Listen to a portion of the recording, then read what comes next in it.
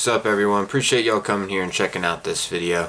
I know it has been a while since I've last uploaded. That's the reason why I decided to make this video just to update you guys a little bit over what's been going on in my life. There's been some pretty life-changing things that's been happening here lately and I figured I would share a little bit over what's been going on. Anyway, some of you guys may know a while back ago I did mention how my daughter has a disease called CMV which made a lot of things complicated with her health. To summarize some things that happened, she was born with something called CMV which led to a lot of complications for her and her health. Um, she eventually needed a hearing aid in one ear and then she eventually needed another hearing aid in another ear and then she needed her frequencies turned up and then that's when we were recommended steroids to help slow down the hearing loss. And we also learned about the scarring that's in her brain as well from the CMV that she was born with. So we had her on steroids for a little while, and that truly did help calm down the hearing loss, which was great. So, you know, things were calming down, at least we thought.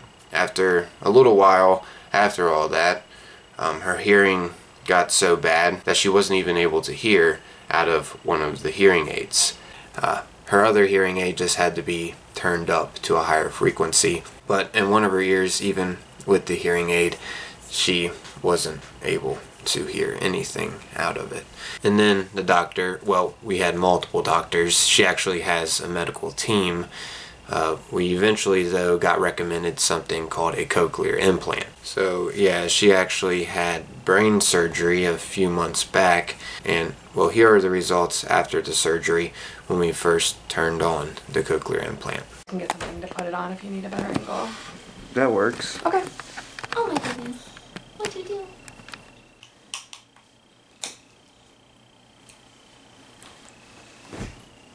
Right now it's still off, yeah. Still off.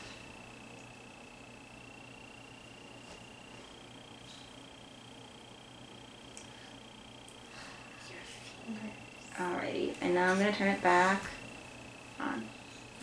Mm-hmm. Yeah, she's hearing. You can see Leah? us. Hey. are you doing? Hey! Hi. Whoa. So when Yeah. it turned on, we got that real quick eye blink, I saw that. which she recovered from quickly, which is good.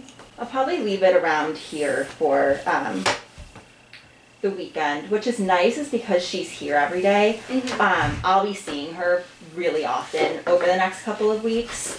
And you guys will have the comfort of knowing, you know, is she gonna stay for the day today? Yeah. Okay.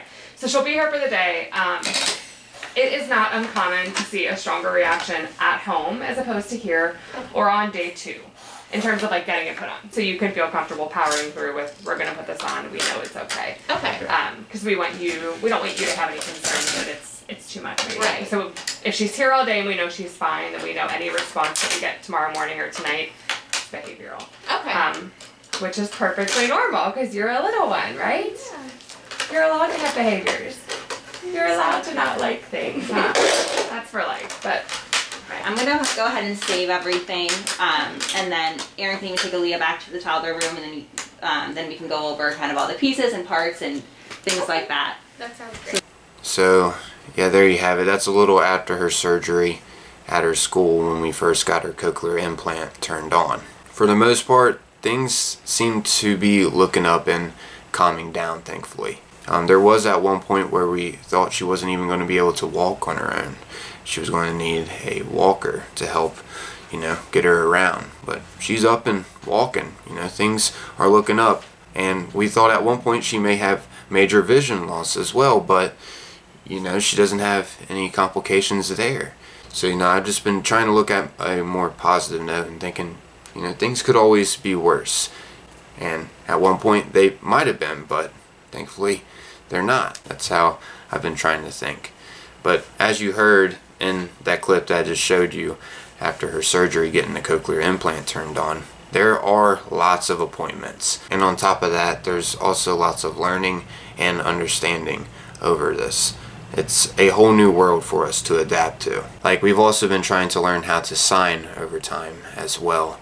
So, yeah, there's just been lots of learning and understanding. Not to mention, we also managed to get her into a special school for the deaf for a starter program for her. Some of you might have heard at the end of the clip where I just showed you of her getting her cochlear implant first turned on. They were going to take her back to the toddler room, and yeah, that's actually the school that she's going to. That's the starter up program for her. She was only there for half days, but it really helped out her progress and her development. These years are extremely important for her and her development. But yeah, we actually managed to get her in this special school for the deaf from thankfully someone on her care team. She helped us a lot with getting her into the school. And all of her peers pretty much as well have cochlear implants of some kind. So yeah, the school has been a huge help. She was only going for half days. The doctor recommended this for like a Kickstarter program for her and her development, and it helped a lot. Um, she's actually about to be going for full days on Monday. She's actually starting school. My son actually started school the other day. Let's just say I was super nervous. I was probably more nervous than him, but I tried to not act like I was. But man, uh, things went smooth. Like he rode the bus, no troubles and he went to school and he loved it. So I don't know, it's just a parent of me worrying, you know, he's on the bus and then he has to go get off the bus and find his class. But yeah, they guide them, so I don't know why I worry about that kind of stuff. Everything went smooth and he's actually enjoying school too, which is great. But I will be starting to have more time to make content once she goes back to school full time on Monday, which my daughter just recently turned three, so these years are extremely important for her and you know her development. But yeah, that's the reason why I was so big on trying to support St. Jude a little while back as well, because it was something extremely close to home to me, and I wanted to support something like that. Uh, so yeah, I've been really investing time into learning, understanding, and investing into making new memories with my family over their summer break.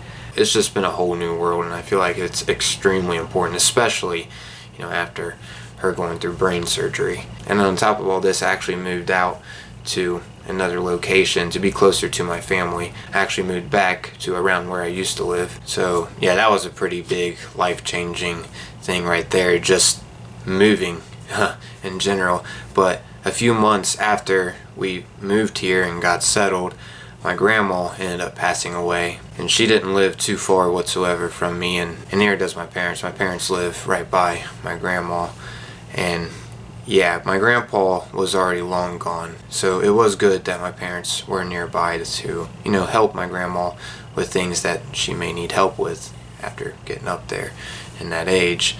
But yeah, she unfortunately passed away, and a little after that, we had the funeral, and that was actually the first time I've ever had to help carry a casket. Uh, but yeah, after that happened, that in general brought us more family time.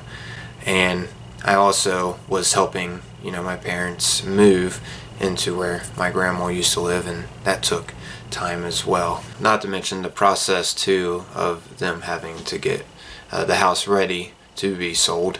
Um, yeah just things have been really stressful here lately. Like some very big life-changing events have happened here lately but things seem to be smoothing out now and calming down.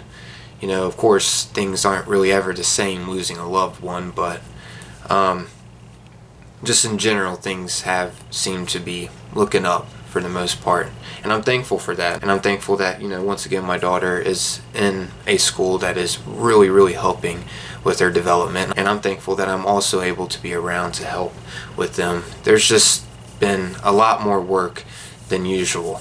And I just haven't really been uh, investing as much time into making content. I've been investing more time into making memories with them and just trying to uh, help. But yeah, I wouldn't even be able to spend as much time as I would if it wasn't for a lot of you guys as well for all of your support that you have given me over time on this channel. You know, it is kind of necessary of me to at least explain what's been going on in my life and why I haven't exactly been uploading as frequently and been focusing as much on creating content. Hopefully this helps explain a bit and I appreciate all of you that continue to stick with me and continue to show my channel support. Of course, you know, in the end, that is totally your decision if you want to stick around. But some of you are still around and watching this video, and I do highly appreciate that. Just wanted to be clear, I do appreciate all of your guys' support. But yeah, that's why I haven't been uploading here lately, guys. Anyways, thanks everyone for taking the time, watching and listening to this video. I'm out of here. Peace.